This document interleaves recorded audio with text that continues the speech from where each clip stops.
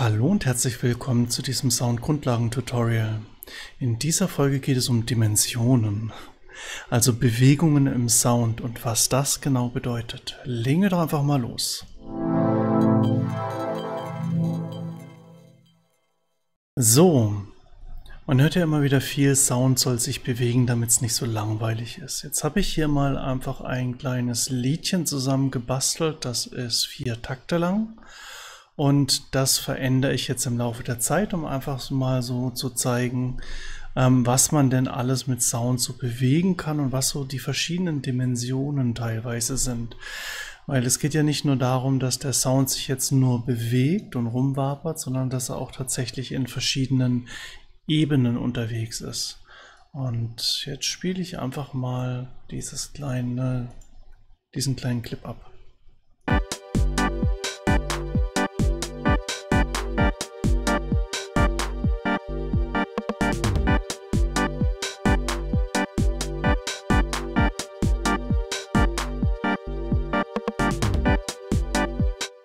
So, und der klingt eigentlich ganz nett, ganz lustig, ganz süß.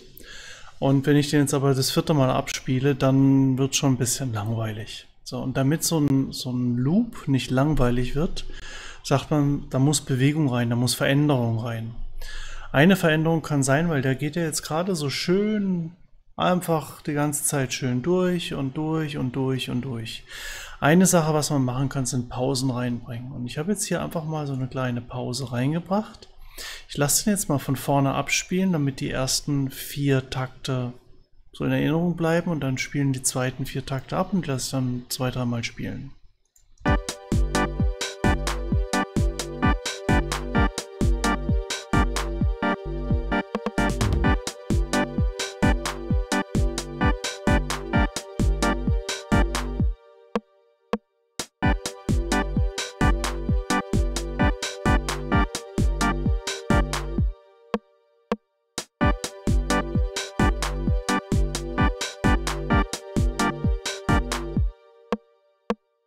So, das heißt, hier an der Stelle habe ich einfach eine ganze Menge Sound rausgeschnitten. Das kann man ähm, wunderbar machen, aber vielleicht nicht in so dieser, in der Kürze.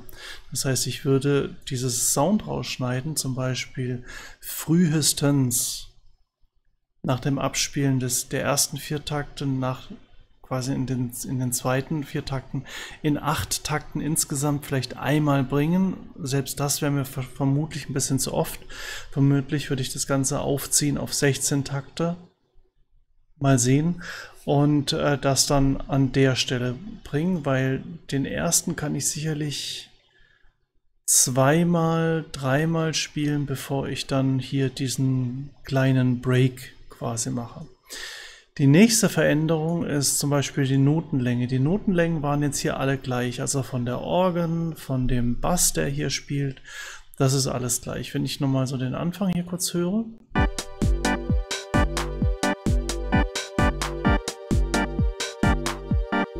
Alles gleich lange Noten. Und beim Bass genau dasselbe.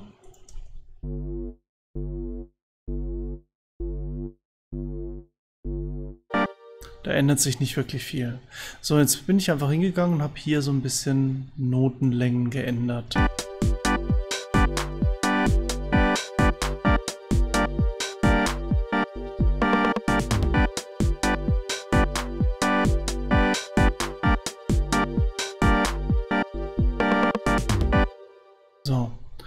Und als nächste Option, es wird schon langsam so ein bisschen interessanter, weil da so eine Rhythmik reinkommt durch die Notenlänge. Das nächste habe ich jetzt einfach mal die Anschlaglautstärke, die Velocity geändert. Und das Ganze hört sich dann so an.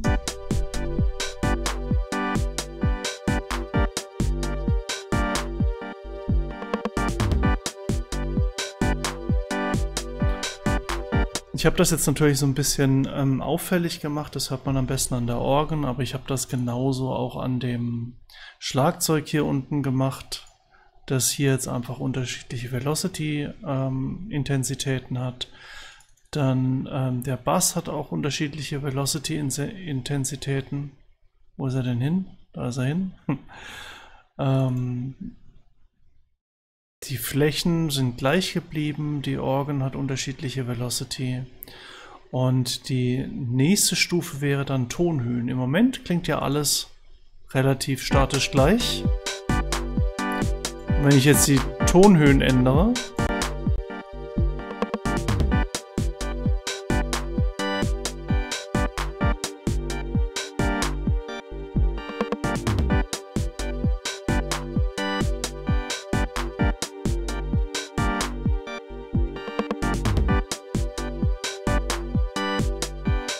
Die habe ich jetzt bei der Orgel und bei dem Polysynth, also bei der Fläche, habe ich so ein paar Tonhöhen verändert und bekomme hier jetzt einfach so eine, ja, eine Variation rein. Da bewegt sich irgendwas. So, wenn ich von der Velocity nochmal spiele.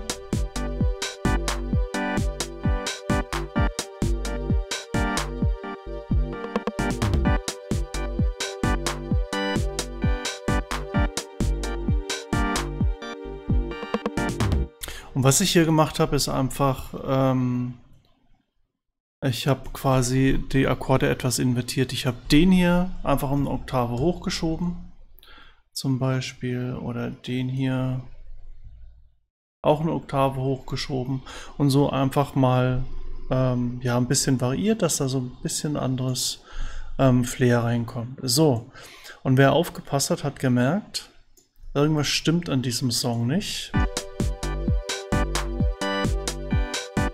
Das ist nämlich Mono. Und das ist nämlich auch so eine weitere Dimension. Man versucht ja immer alles so möglichst stereo und groß und breit zu machen. Das Problem an der ganzen Sache mit dem Groß- und Breitmachen ist, wenn man, wenn man das Gegenstück nicht hat, wenn man nicht weiß, was, was schmal und mono ist, dann bringt die breiteste Breite nichts. Man kann das nicht so wirklich schätzen. Man hört natürlich schon, dass das super, super stereo ist, aber erst im Gegensatz lernt man erstmal so richtig, wie groß diese Breite ist. Also das heißt, wenn ich anfange, Gegensätze zu schaffen, dann verstärke ich einfach, verstärke ich einfach diesen Effekt dabei.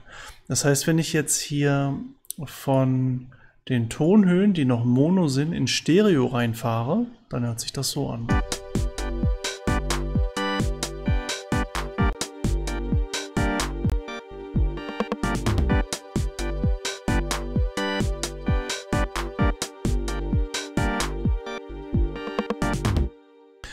Und hier habe ich den Effekt jetzt halt einfach mal so reingeknallt. Das kann man machen, muss man nicht unbedingt. Man könnte es jetzt auch langsam reinziehen. Mir ging es einfach nur um das ähm, Spüren, was sich da erstmal so im Sound verändert. So, und jetzt habe ich das ganze Stereo. Und jetzt bringe ich noch weitere Effekte rein, die ähm, mir das ganze Klangfeld noch so ein bisschen ja, verbreitern und damit spielen. Hier, ähm, ich lasse vom Stereo nochmal laufen und gehe dann hier in diese Effekte rein. Und da sieht man schon, dass ich hier äh, einen Stereo-Effekt angemacht habe, einen Reverb angemacht habe, einen Delay angemacht habe. Das heißt, die normale Stereobreite, die ich durch die Instrumente habe, habe ich nochmal durch diverse Effekte einfach nochmal erweitert und verstärkt. So, machen wir das wieder zu und dann spielen wir hier nochmal hier vorne von Stereo ab.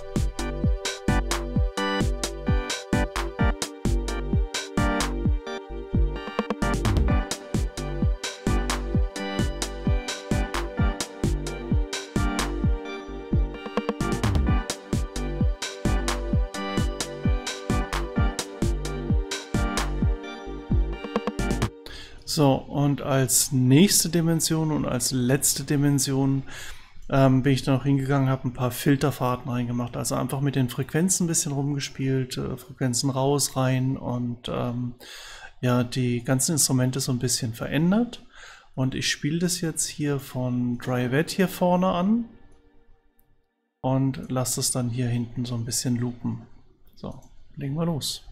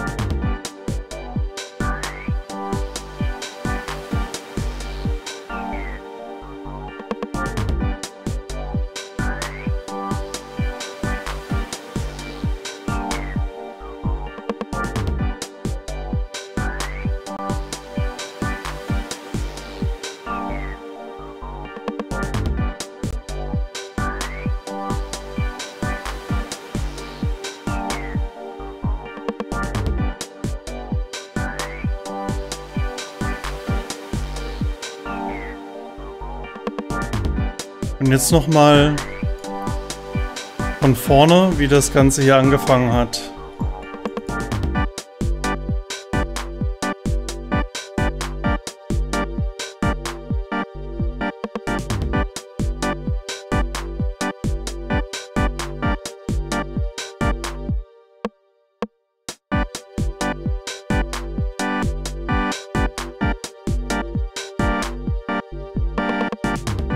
Velocity.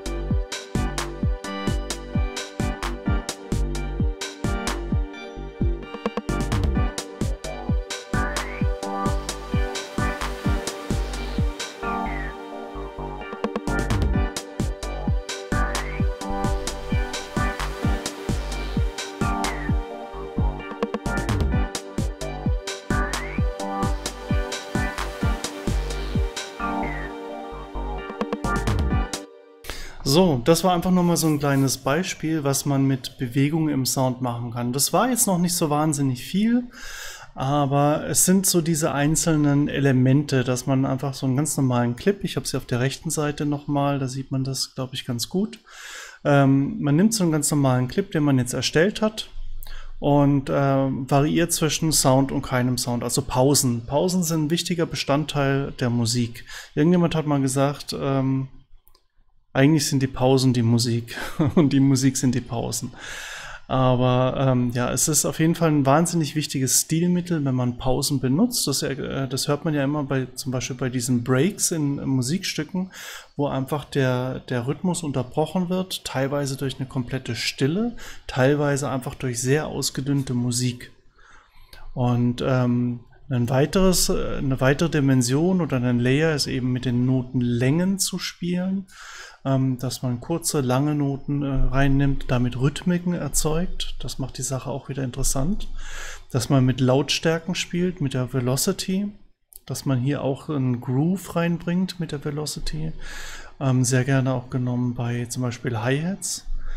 Dann, dass man die Tonhöhen variiert. Das kann einfach sein, dass man eine Oktave hoch, eine Oktave runter geht, so ein Akkord mal einfach invertiert. Das heißt, einzelne ähm, Bestandteile von diesem Dreiklang einfach eine Oktave hoch oder runter packt. Dann, dass man mit dem Stereobild spielt, so dass man zum Beispiel einen, äh, einen Song immer enger werden lässt, dadurch, dass man die ganze Stereoinformation rauszieht und es immer mehr Mono werden lässt. Und dann quasi mit einem Schlag wieder in Richtung Stereo, um einfach diesen, diesen Gegensatz zwischen Mono und Stereo zu schaffen.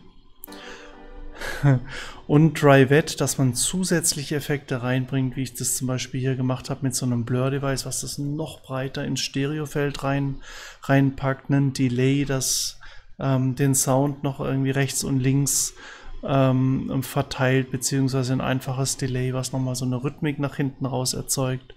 Ein Reverb ist auch ein ähm, sehr schönes, sehr schöne Methode, um einen Sound von, von, von frontal einfach ein bisschen in den Hintergrund rücken zu lassen. Ähm, je weiter hoch man den Mix zieht, desto weiter ist der Sound einfach im Hintergrund. Und je trockener der Sound ist, desto näher ist er quasi vom, vom Gesicht. Und dann eben auch noch ähm, Filterfahrten, mit denen man den Sound an sich nochmal verändern kann. Das heißt, Frequenzen ähm, rausschneiden, reinziehen, hohe Frequenzen raus, tiefe Frequenzen raus, alles wieder rein.